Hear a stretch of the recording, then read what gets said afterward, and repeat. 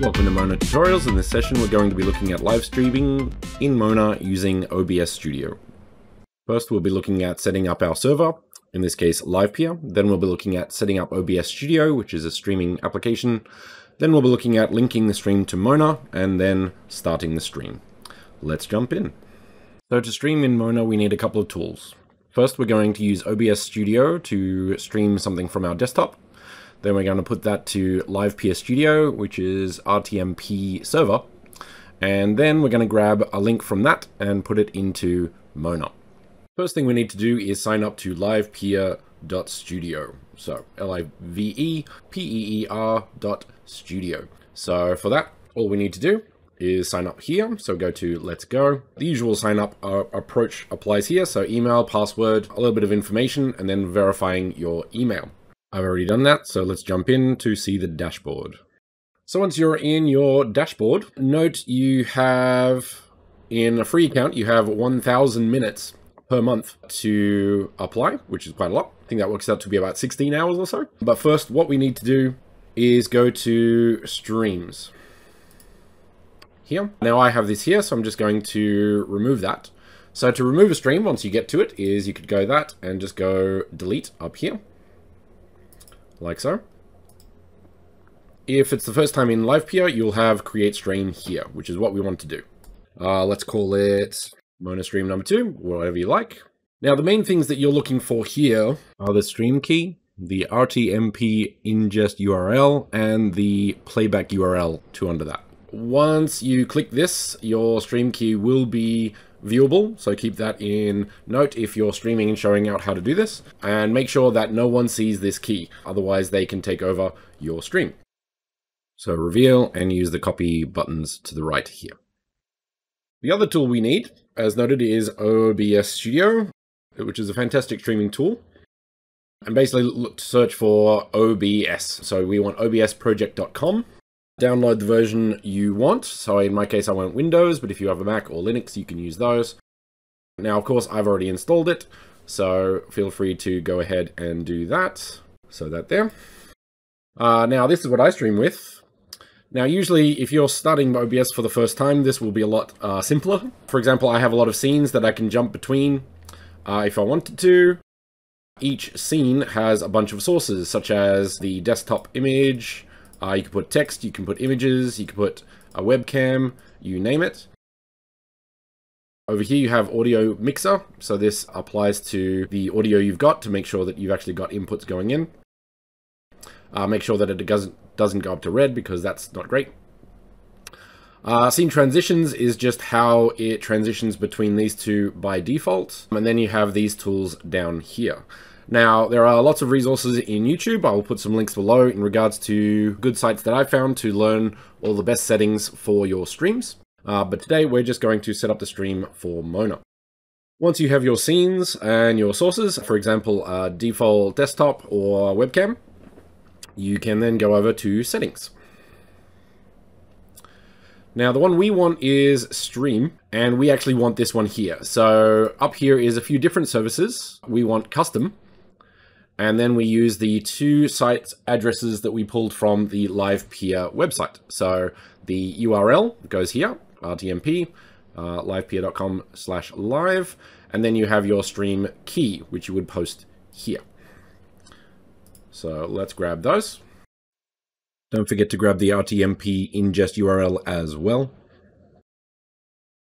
Paste. Then make sure to press apply. Next, we want to go to output and tweak a couple of settings here. Now, depending on your graphics card and things like that, uh, you'll have to choose which is best for you. I have an RTX card, so I believe the 264 is the best.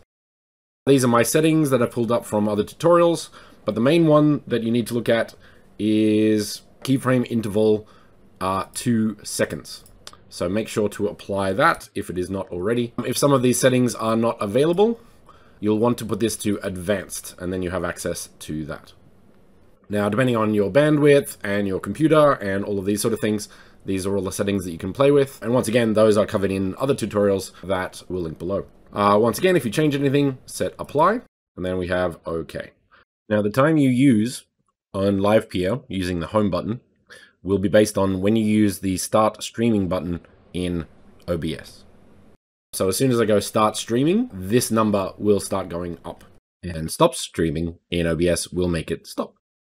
So let's jump into one of the Mona spaces with canvases so we don't waste any time on our timer. Now notice that the cursor changes when you roll over this. To link a stream to a canvas that's already been linked, you will have to unlink it first. So let's do that. And then go link. And then as you can see, we can do live stream here. So let's do that. Some information, title, artist, and description.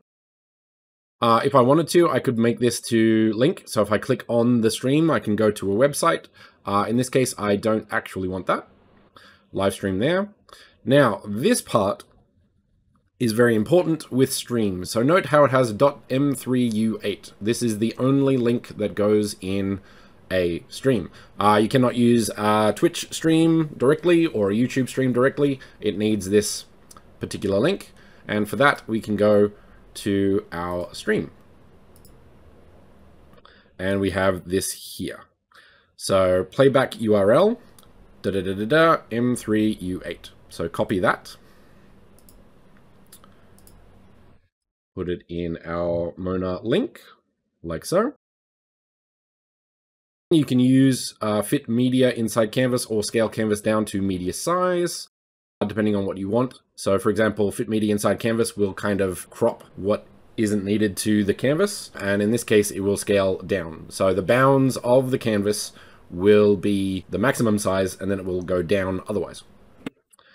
The active stream, if I turn this off, it will make the canvas invisible. And when I turn it on, it will make it visible. Another note is you can only have one stream in a space. Otherwise, the bandwidth would get considerably high very quickly. Make sure to start streaming on OBS Studio before hitting the link canvas, otherwise you may have issues.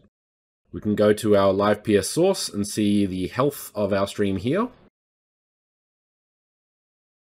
The other thing you can do is check health here. So we have our transcoding and our real time uh, giving us the feedback that we would like. So we go back to here. Okay, so notice when we press link canvas and it is now streaming, it will now work. So when we go to preview, there it is there. Okay, and as you can see, it has a link down the bottom, and then we have the live stream with the links if we want to. But as I didn't put a link, doesn't go anywhere. Don't forget to stop the stream in OBS Studio so you don't waste time on your Livepeer subscription. And that's it for streaming. Have a nice day and happy building.